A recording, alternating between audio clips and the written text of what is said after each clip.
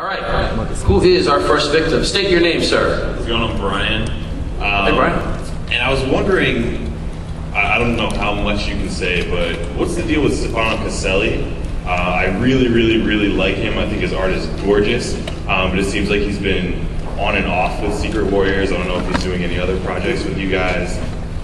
Stevie, you're the talent guy. Yeah, uh, Stefano's been hard at work. You know, on Secret Warriors, he had a, a, a couple, couple family troubles that he had to come off on, unfortunately. However, he's been working very hard on a new project, which will be announced tomorrow, I believe. So uh, we love Stefano. He's one of the great up and coming artists we've worked with, one of our you know young guns, and you'll be seeing a lot more from him uh, starting in November. That's all I can say for now. Awesome, thanks. CB has what my kids used to say, convention voice. Uh, Arune, love the mask, by the way. Do you want it? Yeah, Sure, it's yours. All right, I'll come up and ask you guys this real fast. Joe, uh, you've always been one of my favorite artists. And I was wondering, I know you're really busy, uh, you got a lot on your plate, but are you ever going to be penciling anymore? Uh, well, it's something. I, I, the truth of the matter is, I really can't do anything that has uh, a definitive deadline anymore. Uh, Omit's probably the last thing I'll do that's on a schedule. Uh, if I work on something, it'll be one of these things that I'll, I'll work, you know, on the side. And uh, I got a couple of projects that I'm working on uh, that I'd like to work on, uh, but nothing right now. I mean, right now, the, the, the, the my new role as chief creative officer is uh, is Is that interesting. CCO? Is that how you do that? I'm sorry. CCO, actually. CCO, yes, yes. okay, great. I like saying Chief Creative Officer. It feels like a lot of time. Uh, but the, uh, the truth of the matter is that, that, that one of the, the fun parts and one of the hard parts of the job for me is that, that I have to sort of define it as I go along, especially being in New York. So I do a lot of traveling right now. Uh, I'm all over the map. Um, and, uh, and finally going on vacation after this.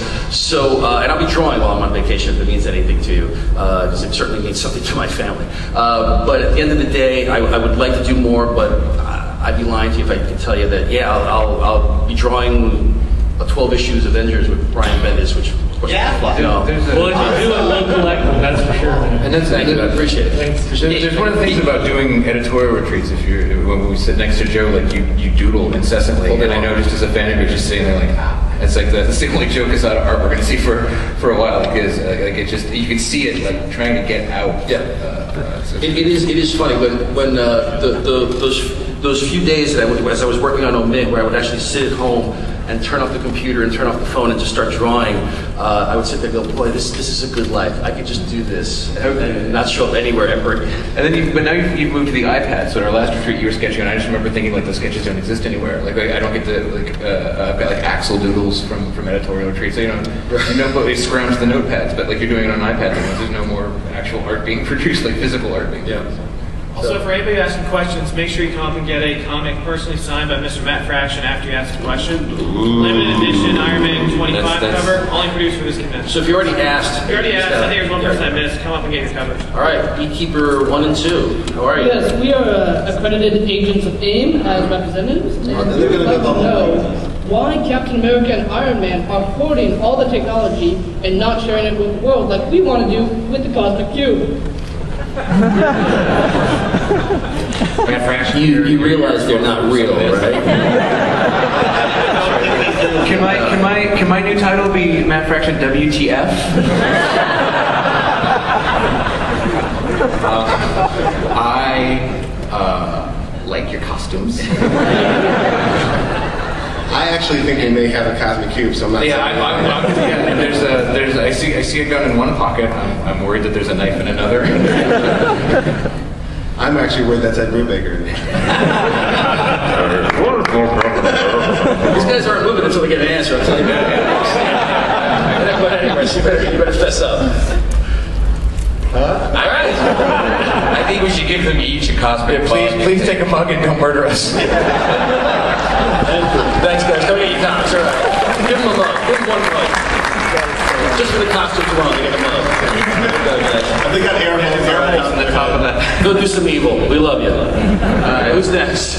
Okay, not so much a question as much as um, A political statement. no, it's actually uh, an expression, expression of appreciation and gratitude, uh, especially Mark, PC, uh, beat uh, Jeff and Arune uh, over the last year. I fought cancer, and you guys were really supportive. And I'm seven months cancer free, so I just want to thank you. Thank you.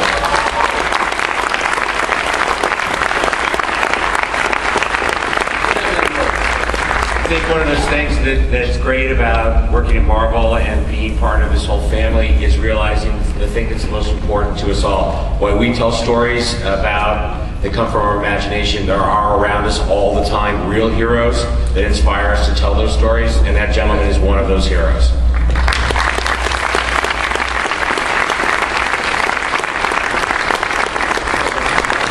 Hey there. Hi. How are you? Good. Cool. Um, first off, I'd like to say I appreciate everything you've done this year with your Women in Marvel initiatives. And um, I just wanted to ask, um, you know, how successful you feel all of those were, you know, with the girl comics and the Women in Marvel variant covers, to, you know, bringing further attention to the, all the ladies in your cast and what further plans you might have to bring them on the forefront and get them some attention. I think it was hugely successful for us. I really do. Um, I, I personally love the initiative. Uh, I love how the initiative started, how it came to be. I love the, the girls' comics. I thought were really fantastic. Uh, and and I, I think it, it, it, it did what it was intended to do, which was really put a focus not just on female creators, but also the female characters in the Marvel Universe to, to get us all thinking about, you know, what's next. Um, you know, I, I know this panel in, in particular, there, there are a lot of fans here a lot of the, the, the female characters. I know Brian in particular loves like Ms. Marvel. Uh, and, and you know, and Jessica Jones, of course, and all the others. But uh, I think it's been a hugely successful program for us, and I wouldn't be surprised if we do it again down the road as well. Thank you. Thanks. I'd also add, just come to the Women of Marvel panel tomorrow. You'll probably enjoy that. Mark, Mark also wants to tease something. Uh, yes, um, there are some green ladies that might be coming back into the uh, swing of things soon, so keep your eyes out for that, the, the uh, announcement next week. Hey, man. Hi, I was uh, wondering if I could ask about the future of the Runaways movie and maybe about the comic, if there's something coming up for that. Um, can't discuss anything about the movie right now. Uh, maybe just further on down the line, but uh, the comic right now is on hiatus. CB, you know, you're you're intricately. Uh, Yeah, the comic's on, on, on a hiatus for now, and it's not to say, you know, that we don't love the characters because we do. There's a lot of writers out there who ask asking to uh, to work with, to use them. So you're going to be seeing some of the Runaways pop up in a bunch of different books, sometimes together, sometimes separately. Uh, there's some stuff coming up with Molly. Molly was just in uh, the, the X-Men Heroic Age uh, with Beast, uh, just because I, I love her and I didn't think I'd ever have a chance to write it. So again, so I had to, you know. And we are uh, we are planning to, you know, get the, t- the team and the book back together. We're just looking for the right creative team and the right direction for it. So there should be news soon. But at the moment, you're just going to have to get your Runaways fixed from some of the other parts of the Marvel Universe for now. Sure. Thanks for asking. yes, sir. Uh, yeah, I was wondering if there were any plans for New Warriors or Ghost Rider after Shadowland One Shot. It's uh, I know it's too early to say on Ghost Rider, um, and There have been some new Warriors discussions. It's it's way too early. Uh, I'm trying to twist tr- twist Bendis' arm here with some ideas, but we'll talk later. I just can't say right now. But there are some thoughts. Thank you. I just wanted to know um, how has the creative day-to-day process been affected by the Disney buyout of Marvel? Um, not at all. Not at all. Yeah. Not, not an iota. The the beauty of the of, of the Disney purchase of Marvel is that we have autonomy to do what it is we do.